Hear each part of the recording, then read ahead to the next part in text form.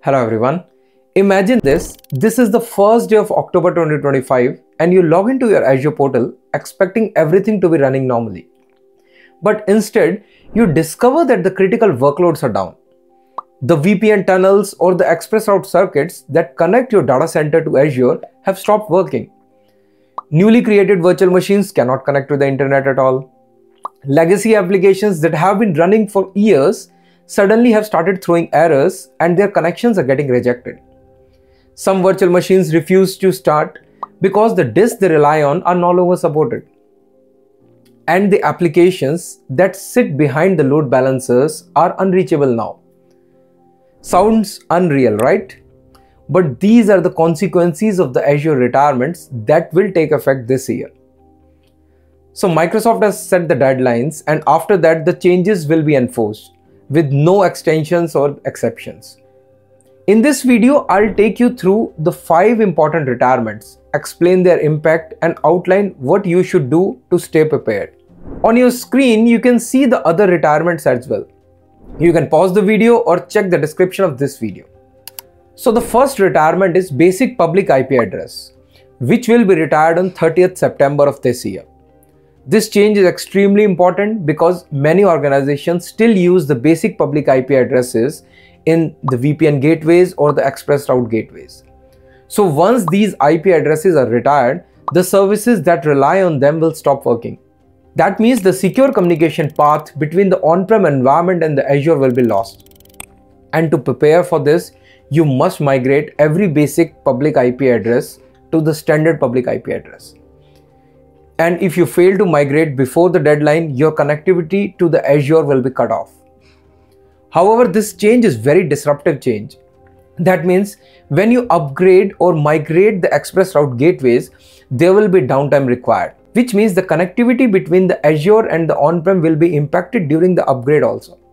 So if you haven't planned yet, you should start immediately so that you can get the proper planned downtime for the application which will be impacted. Now the second change is the retirement of the default outbound internet access for the virtual machines. So right now, when you create a virtual machine, without configuring the outbound access, Azure automatically gives the default path to the internet. That means it is easy for the servers to download updates, call APIs, connect to the external services. But from 30th September, this behavior will stop. Any new virtual machine created after that date will not have the default outbound internet access. If you need outbound connectivity, specifically internet connectivity, you must configure it explicitly. You can do it using the firewall, NAT gateway, setting up the outbound rules for the standard load balancer, or assigning a public IP directly to your virtual machine, which is not recommended though. And one important thing to understand is that the existing virtual machines which are created before this deadline will not be impacted by this change. They will continue to work as they do today. But every VM deployed after 30th September will come up with no internet access until you configure it. Now you need to take a control of the outbound connectivity and you have to plan it properly.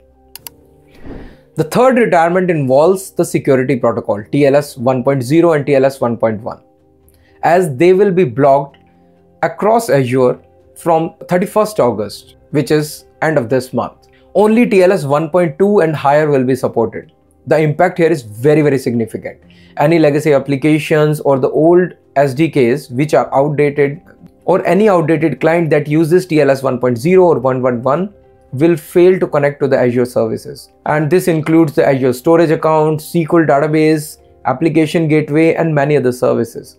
For example, if your business application is still connecting to the SQL database using 1.0, that connection will fail.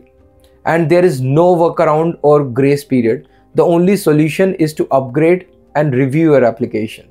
Update all SDKs on the frameworks and test your environment to make sure everything supports TLS 1.2 or higher. So if you don't prepare now, your application will break as soon as the protocols are blocked. Now moving on to the fourth one, the fourth retirement is the Azure Unmanaged Disk. So in the early days of Azure, unmanaged disk was the standard. The customer used to create the storage account, store their VM disk there as the VHD files. This had a lot of complexity and required manual management of performance and capacity. And that is the reason Microsoft moved to the Azure Managed Disk. So on 30th September of this year, 2025, unmanaged disk will be retired completely.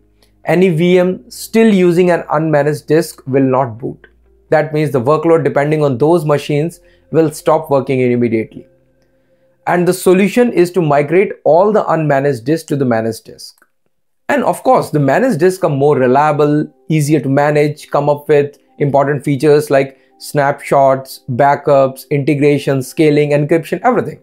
So if you still have the virtual machines with unmanaged disk running in your environment, it's good to scan your environment now.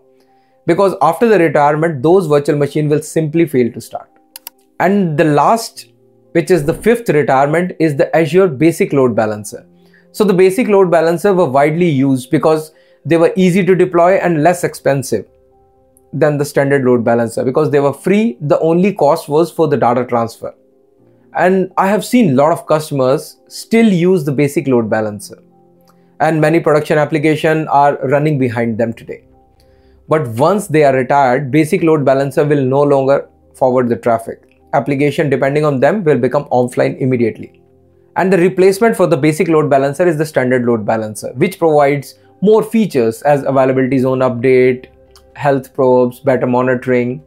But if your application are still running on the basic load balancer, you must migrate them uh, to avoid any outage. However, one important thing to note is that the basic load balancer provide default outbound access to the internet.